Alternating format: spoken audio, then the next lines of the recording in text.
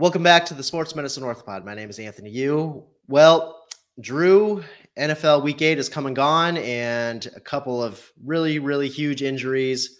I brought you on sports medicine specialist from Beacon Ortho, Dr. Drew Burleson, to talk about Jameis Winston and his ACL tear. We've done a lot of ACL shows on this show, but this is actually our first uh, YouTube ACL show. Uh, but to keep it a little different from the things we've done in the past, Drew, I'm just going to start off with some simple questions. And so I know you saw the injury. And so, first question is Were you surprised after seeing that injury to learn that Winston had torn his ACL? Well, first of all, I'm a little bit surprised. I thought you brought me on to discuss all the Cleveland Browns injuries this past week. right now, this, but uh, uh, the biggest uh, injury for the Browns is to our ego right now. Um, man, struggling.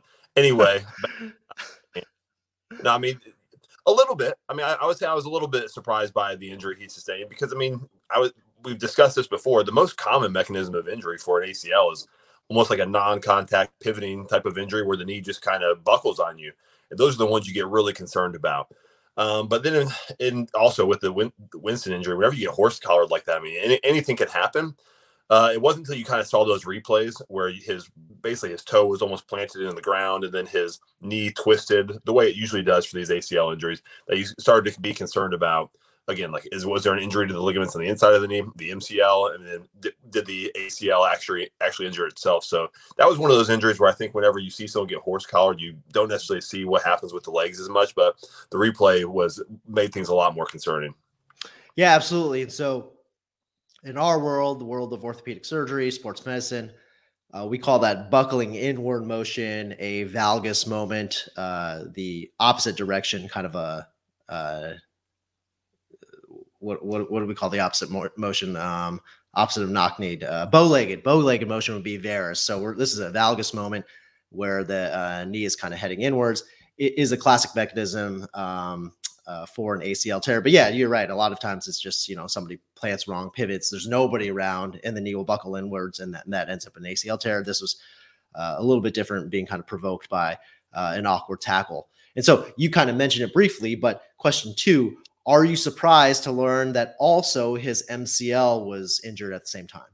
No, I mean like that sometimes whenever you have these injuries where like they call it the terrible triad, like one of those injuries is the injury to the MCL. So the, the MCL is the ligament on the inside part of the knee. So medial is the M and then collateral ligament um the ligaments on the inside and the outside so yeah when we talked about how again like if your knee like this and goes into a, a valgus type of shift that ligament on the outside part so over here if it goes like this that that's how it tends to just snap pulls off the femur bone. So I mean, it's very common. Again, if you like look at the replays as well, like his knee really kind of buckles and goes uh, splays open like that on the inside part of the knee. So again, these injuries occur very commonly with ACL injuries. So again, not surprising at all that he had that type of injury.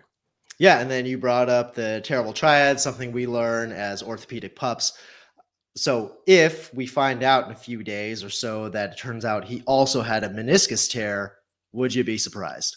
No, again, imagine like your, your knees like this, femur bone, thigh bone. Again, what kind of twit the the tibia bone kind of shifts around here, but also goes into that valgus type of motion. So you have this bone kind of pressing against that bone, and it can tear that meniscus on the outside part of the knee. Yeah. So again, meniscus is a C-shaped soft tissue disc that lives between the femur, the thigh bone, and the tibia, the shin bone. And so you know, if there's enough energy to tear a ligament, certainly there's enough there to injure a meniscus, which we see commonly all the time. Uh, we know he has an ACL tear. That's kind of the main event here. Why is it so important? So, I mean, especially it's important for people who do any type of cutting or pivoting type of exercises. So, if you're a sedentary person and you basically just walk and get up and don't do a whole lot of activities or even just run in a straight line, you don't necessarily need an ACL. But if you're doing any type of like cutting and pivoting type of exercises, then you definitely need an ACL. So again, if you're a professional athlete or especially a starting quarterback in the NFL, you need an ACL to be able to, to play. Yeah, it provides rotational stability that no other structure in the knee does. And that's why, again, it is so important for these cutting and pivoting uh, sports. And so that brings me to my next question. And again, you kind of mentioned it. Does everybody who has an ACL tear, do they need surgery? No, not at all. I mean, again, it's it's very much dependent upon what your activity level is. Um, and and how much instability you can tolerate.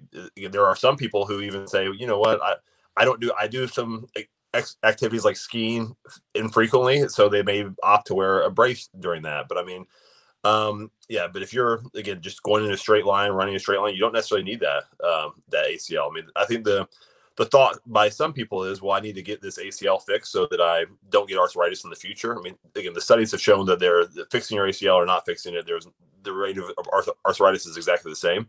Um, so again, like if you're a person who doesn't really lead that active of a, of a, lifestyle and can tolerate wearing a brace whenever you do do those types of things, absolutely, I think it's those people can be treated without surgery.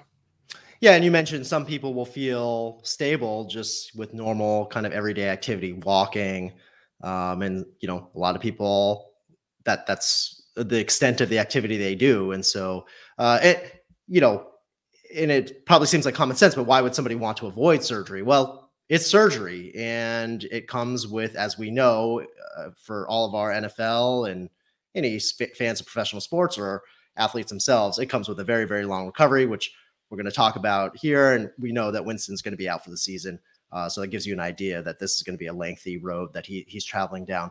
Um, so let's talk about the timing. We haven't heard when he's going to go to surgery.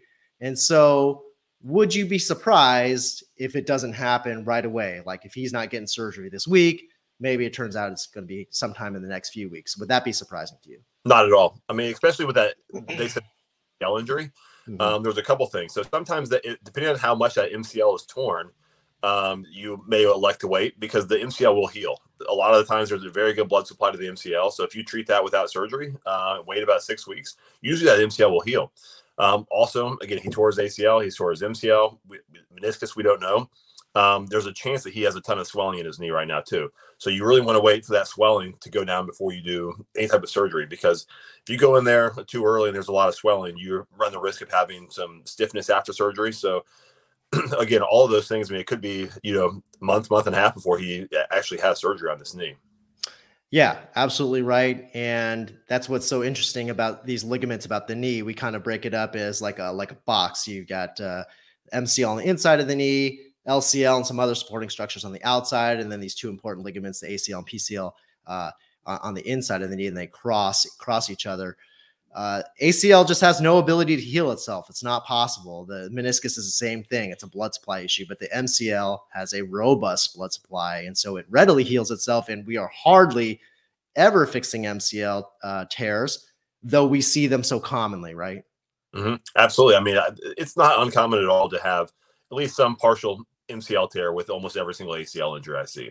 And I mean, again, the amount of MCLs that I actually fix, um, it's very, very rare. I mean, it happens, but I mean, it's just uh, exceedingly rare. And there's usually certain circumstances that will cause you to fix it. Yeah. And you brought up a separate point about what happens after you tear the ACL. Well, most commonly, the knee blows up. Uh, it's going to look like a grapefruit full of swelling. It's inflamed. It's painful. And we've learned the hard way because we used to take athletes like Jameis Winston immediately to surgery because we're thinking we just got to get this fixed, get them on the road with recovery. We actually did show with uh, Jim Merlo, who played for the Falcons in the 70s, and this is what happened to him. But we've learned the hard way that when you do that, you bring a knee that's acutely inflamed into the operating room to do an ACL surgery. You come out exactly that way, super inflamed, and it makes the rehab uh, very, very hard uh, for the patient um, we're, we're not doing them any favors by, by rushing him in, right? Absolutely. Yeah. I mean, you, because, you know, conventional wisdom would be like, well, okay, well, the sooner you do the surgery, the sooner you're going to get better, the sooner you're exactly. going to back. But right. it's, it's not. Right. I mean, you, again, the swelling is just so intense after surgery that's really hard to get that motion back. And it actually could prolong the recovery because you're just re- really trying to get that motion back. You're and you're sacrificing a lot of the rehab in regards to strengthening um, to get that motion back. Yeah, it's kind of a second insult while the knee is still just trying to recover from that first insult and uh, calm the inflammation down. And we're much better off uh, waiting than, than, rushing in. Okay, so um, we hear all the time. I, I, went and got my ACL fixed. Uh, he's getting the ACL repaired. You're an orthopedic surgeon. You do sports medicine surgery. You fix an ACLs every week. Tell us why that's a bit of a misnomer. How do you actually quote unquote fix an ACL? Yeah, I mean, even I say fix. I mean, yeah. I, I You're part of the problem, Drew. well, uh, but yeah, I mean, there really is a difference between fix, fixing and reconstructing. And what we typically do with a um, ACL is we re- reconstruct it. So the difference between the two of those is fixing means you take the native tissue and then you actually fix it back down. Like you put some anchors and suture it back down. That's fixing. So again, like a, a structure like the MCL, when that tears, a lot of the times we can fix it because the blood supply is so good, the ligament, the quality of the t- the ligament is very good. So you can usually just put a suture anchor in there and then suture the native ligament back down. And that's a fix. In those um, rare in those rare cases where you actually sure. have to do MCL right. surgery. Yeah, but the ACL talked about, like the ACL, the blood supply is, is not good to that at all. So when you tear your ACL, the quality of that tissue is very poor. When you get in there, it's usually just falling apart. It's like mop ends, and there's no way you can suture that back together, and it, there's no way it would heal. Um, there are for a different topic of conversation. I mean, there are some people who are doing some ACL repairs now for certain types of tears.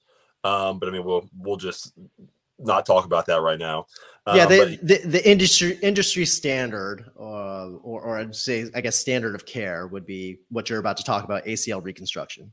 Yeah, which meaning that you take tissue from another source, so your own tissue, which is autograft, or cadaver tissue, which is allograft, and you actually reconstruct the new ACL. You you drill some holes in the bone, and you put this graft in between there and fix it some different way. But yeah, we always we also talk about fixing, but what we, what we really mean is having to reconstruct it. So I'm sure when they say Jameis Winston is having his ACL fixed, they actually mean it's being reconstructed. Yeah, you mentioned a, a graft. So again, you put it well. It's tissue that exists somewhere else that you're repurposing to become the new ACL. And so this we could talk literally for 24 hours straight about this because graft choice in the ACL is remains a topic of controversy. Um, but for Jameis Winston, the graft choice is is probably pretty straightforward, right? Yeah, I mean, again, like you, we break you break it down into two broad categories: is this his own tissue, autograft, or is it cadaver tissue, which is allograft? Um, allograft is appropriate for some people, um, but again, that's when you actually when you start to get a little bit older, probably 30s, 40s years old. But he's going to get autograft. so that's the first thing. It's going to be his own tissue. The other thing is where it's going to come from. Um, there's, I'd say, probably three broadcast. There's patellar tendon, there's mm-hmm. quadriceps tendon, and there's hamstrings. Um, I feel like most people use, uh, especially in the NFL, will use a bone patellar tendon bone to fix this. And that, if I had a guess, that's probably where he's going to get done. Yeah, I think we'd agree. We consider the bone, patellar tendon, bone graft, autograft, the, the gold standard. Um, it, it's just got the best track record in terms of durability, uh, particularly for an athlete as high level as Jameis Winston, or you know, really anyone around 20 or younger who, who's a high end athlete. And so we'd imagine that this is the graft choice that Klay Thompson got, that Jamal Murray got, that Nick Bosa got. Um, it, we would consider it to be the gold standard. Uh, quad, I think, is an interesting alternative, but it's it's probably a little bit newer. I don't think we have a, enough long term data to say that it's uh, w- would be the right choice in this case. And so, right. yeah, I, I, agree. Patellar tendon uh, w- will be the graft, and then um, you know, how do you get it into the knee? Can you do this all arthroscopically?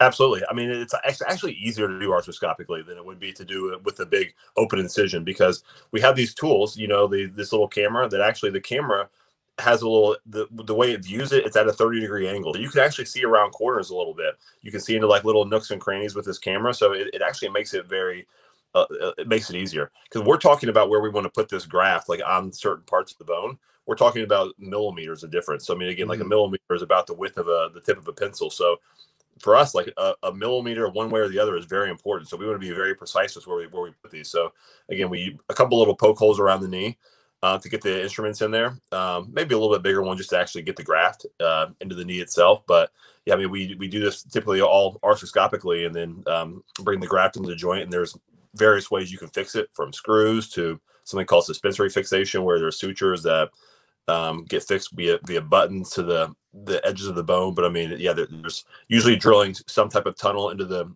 femur bone and into the shin bone, and then fixing it some way yeah, all the kind of work in the joint itself, and you know, arthroscopic. If we break down, arthro means joint, scope is camera. Uh, I think a, maybe not a lot of people are familiar with that term, but the concept of this minimally invasive surgery that you and I do all the time um, is is pretty commonplace type thing now. So all that actual work inside the joint, cleaning out the old ACL, preparing the the tunnels, as you said, to accept the new ACL, um, uh, fixing it, holding it in place, whether it's with screws or the suspensory devices, like you mentioned. We, we can do all that uh, somewhat like a video game. We're watching a camera, a, a, big monitor. We have one camera in one hand, we have an instrument in the other hand, we have an assistant kind of helping to position the knee appropriately. This all sounds super complex. How long does the surgery take? 45 minutes. Yeah. Yeah. right. right. Yeah. Yeah. Yeah, exactly. Um, yeah, I mean, the, the graft harvest will add an additional, um, you know, 10 minutes or so uh, to, to the surgery. And that's kind of the open portion of, of the surgery where you actually have to um, make a longer incision to harvest the graft. We, we can't really harvest the graft, uh, you know, arthroscopically purely. We, we, we do need to um, make a bit of a longer incision to do that.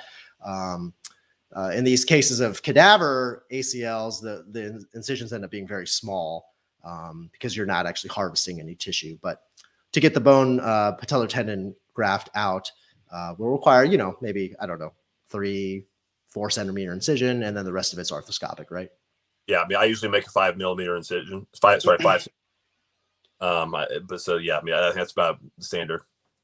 Yeah. And so, you know, all this sounds super complex, but like you said, you know, it's something you can do in about an hour's time, outpatient surgery. And it's a very safe surgery as well in terms of complications, right, Drew? Yeah, absolutely. I mean, like again, the complications you think about. I mean, like one re-rupture. Um, sometimes people have some pain in the front part of the knee. We call it anterior knee pain. Um, but a stiff knee, I mean, but for the most part, like major major complications are very very rare, infections or blood clots and things like that. But I mean, yeah, it's it's usually a, a relatively successful surgery.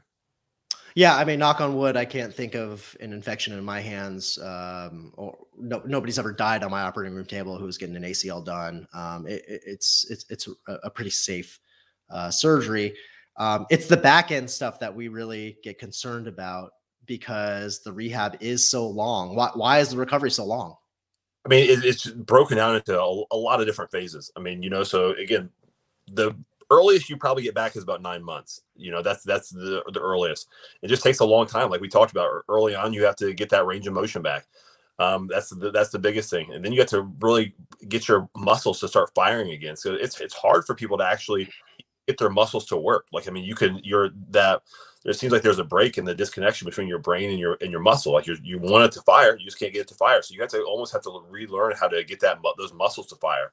The muscles at like even in professional athletes, those muscles atrophy. It's crazy how you see those people back like two weeks after surgery, and their thigh muscle is just so much significantly smaller than the other one over the course of just a couple of weeks. So you have to build up back that strength, and, and eventually you get back to the point where you can start doing sports specific type of stuff again but then you have to get your conditioning back. So, you know, just a lot of different phases to the recovery that makes it take a long time. And why is it so different from person to person? You know, you and I have referenced many times previously uh, the Adrian Peterson excellent ACL recovery, poster child for ACL recovery. Whereas Derrick Rose, and you know, a lot of folks might not remember, but Derrick Rose was like the bee's knees, MVP level player and ACL kind of really derailed that. And it took him a year and a half really to get back on the court. And he was never quite the same. Like, wh- why is it so different from person to person? Because, well, I guess part of it don't know exactly what they're doing with the meniscus. Okay, so I mean, are you having to do something with the meniscus, or are there other ligaments that were injured? Um, again, like how quickly can you get those muscles firing again? Yeah. How much? How quickly can you, can you, get your motion back? I mean, there's also this, um, I guess, something called proprioception as well. Like you know, being able to sense where your body is without actually having to think about it. So again, sometimes people have more proprioceptive injuries where they can't just necessarily they, they don't it doesn't feel quite the same and that it takes a while to get that back as well. So i mean there's a, a lot of variables that go into this uh, again not everybody recovers the same way either and their strength is, their baseline isn't the same. So it's just a, a when you're thinking about something over a very long period of time like that um it, there's the variability is is big yeah, it's a very individual experience. I tell all my patients that you know you don't want to measure yourself against somebody else. You go at your own pace. You're ready when you're ready. And there's also a psychological component to it. Not that I'm suggesting at all that Derrick Rose had any psychological uh, uh, obstacles in his way, but I think if you ask anybody who went through an ACL recovery, they're going to tell you that it, it was challenging mentally. Uh, we had Jonathan Clark, professional slam dunk um, uh, athlete, on, and he, for financial reasons, had to get back to playing with the Globetrotters at six months after an ACL, and he said he was not ready mentally at all. Um, like he could dunk, but when it came to doing side to side, like their their classic like weave formations, he was very nervous.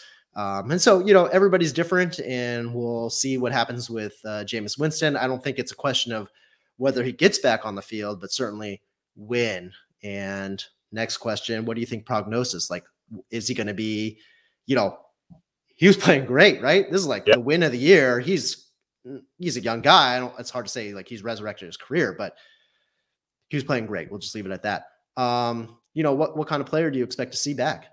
You know, I mean, based on the way he plays, like I don't see it changing his game too much. You know, I, mean, I, I think that he comes back next year sometime. Um, again, is he ready for the beginning of the year? I don't know yet. I mean, it's it's it's it's that that's iffy. Um, I think he'll be back sometime. Um, and, I, and it's and again, it's hard to say he's going to come back at the same level he is this year, just because again, you haven't played football for a year. So I mean, there's obviously going to be some acclimation period, but I anticipate him next year and the year after that. I feel like he'll be uh, back to the way he was the start of this year. Yeah, year two in the recovery for a lot of these lower extremity injuries, ACL included, seems to be when folks start to um, approach their baseline. Um, but you know, we'll see. Like we said, it's very individual and you cannot predict it. And so he just needs time to first get his surgery done and then rehab appropriately, and then and then we'll see from there. Mm-hmm. Um, Drew, that was good. Any parting thoughts? Any any parting ACL thoughts or Browns insight? Um, insights. I wish I had some insights on the Browns right I, I, don't know. We're, we're going through a tough period. I, it's funny. I feel like just a few weeks ago, I was like talking to my buddies, just like, you know what? I think we're a Super Bowl contender. And now I'm like, win the game again. you, you, you never know what's going to happen, but that may go down as a freezing cold take. what's now, now you're you're uh, Beacon Orthos in Cincinnati or, or thereabouts. So what what's the mood after uh, the Bengals lost to the Jets? By the way, I had the Bengals in my Survivor pool, and I was feeling very good about myself. And I, am done. I, I, the mood is still pretty optimistic about the Bills right now. You know, I mean, it's just like it was a very big win the week before, and yeah. now it's it's very easy to have a letdown the week after. Um, yeah. So I mean, I'm sure after just be, um, beating Baltimore the way they did, and then just thinking yeah. oh, anything to the Jets, it's it's human nature. I can understand that. So I, and I think a lot of people that's the, the feelings around here. I think that people are very happy and excited about Joe Burrow. So I mean, I still I think the mood is still very high right now. That's good. Cincinnati is a friendly place. Yeah. All right, Drew. Uh, really good to see you. Uh, we'll see what uh, happens in week nine. Fingers crossed, no, nothing major. Um, everyone, thanks for listening. Please hit subscribe, and we'll see you next time. Thanks again. Hey, folks, thanks for tuning in. If you like the show, please subscribe, like, and share. And we love to hear from you. If you have a question about today's show, or you, a loved one, or maybe your favorite athlete has sustained a sports medicine injury that you would like to know more about, please reach out to us on Twitter, Instagram, Facebook, or email. And stay tuned for more exciting content from the Sports Medicine Orthopod. Thanks again.